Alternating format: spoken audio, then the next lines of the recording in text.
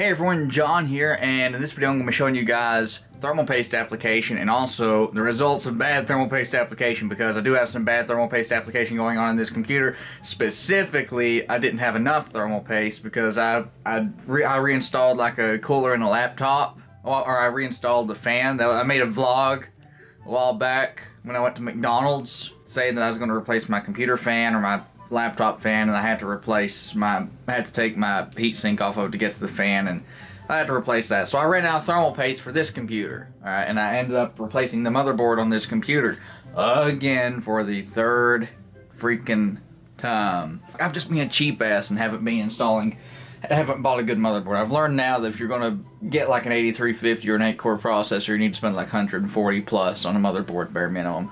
So anyway, I want to show you guys some thermal paste applications since I'm to be replacing this shit. Anyway, let's look at the temperature I'm getting right now.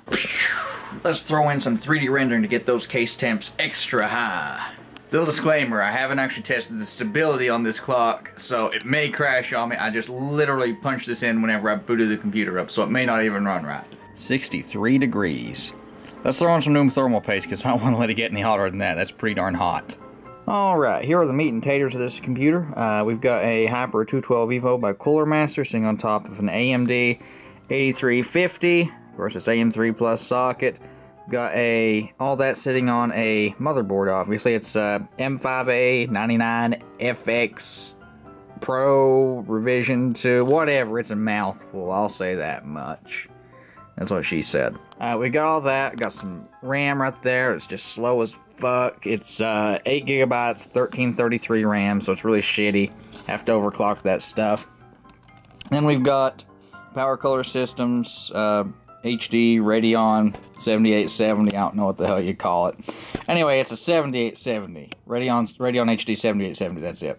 And it doesn't overclock very well. It's got one fan on it. Runs at stock clocks fine. And just under one gigahertz, but whatever. I don't need to overclock I'm doing video editing. I've got a Western Digital Blue 1 terabyte hard drive. No particular reason I chose that other than the fact it was just the cheapest thing I could find that wasn't a, a knockoff brand. Got an old hard drive out of an old computer. It's about 8 years old. I use it for a scratch copy. Thing clicks and hums and buzzes and everything else. It's a real piece of shit. I've got an EVGA Supernova. Uh, you can read this shit. I've got this thing right here, this power supply. And it's a, it's a good power supply. It actually is pretty good. It's the only thing good in this system besides the processor itself. Everything else in here, all this is just pure shit. Let's go ahead and replace that thermal paste now. Alright, now I'm going to be showing you how to remove the Hyper 212 Evo since I have it on here. Now if you have a Hyper 212 Evo installed, then you probably already know how to remove it considering you installed the damn thing. But I'm going to go through it anyway. So we're going to pop off this fan, pop, and pop. Oh wait, it's not making that popping sound. I'm animating that. I'm creating that sound with my mouth in case you couldn't tell. We're going to just loosen these screws. There's four screws on each side. Just gonna twist that shit and twist it and twist it. Look at that piss poor application there. Actually, that's not as bad as I thought it would be. It actually turned actually quite good, actually. The thermal paste we're going to be using is Arctic Silver number 5. And uh, I'm holding that upside down because I'm a dumbass. Let's go ahead and apply a little smaller than pea size now. Where this, where this processor's being lapped, I'm not going to be applying a lot to it. Because actually, I had a pretty good spread on that last one uh, and only had like a half pea sized amount because the heat spreader and everything is so flat that it doesn't take much. It spreads out very thin. Hopefully I can control how much comes out here. And we'll go ahead and make sure we have enough to get adequate squeeze out. Alright, let's set this thing on here nice and gentle lock.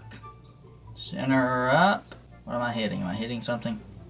I hope you didn't come here to see someone that knows what they're doing. Take this mamma jamma. It around there, set it on top of our RAM, and whoop bam. Well, didn't, didn't snap, did it? Damn it. Pop on there, you son of a Alright, we got her installed, so let's try her out. Alright guys, the moment of truth.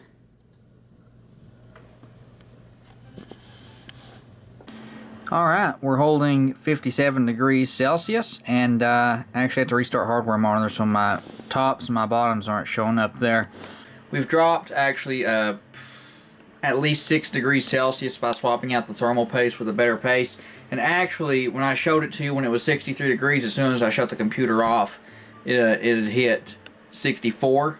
So the temperature was still rising on it. So it's actually made at least a 6 degree difference uh, in cooling performance because this has actually been running longer than the last one. Anyway, I hope you found this video entertaining or useful, one of the two at least, and uh, I'm going to go ahead and see if I can overclock this thing just a little smidge it more, maybe see if I can squeeze one-tenth of a megahertz extra out, I would take it to 4.6 gigahertz. But anyway, I want to go ahead and try that out, and uh, I'll see you guys later. A non-disclosure agreement or anything, but just... Ah, so Oh my god, it's starting to snow. Freaking hate. Oh shit, what the did I just break?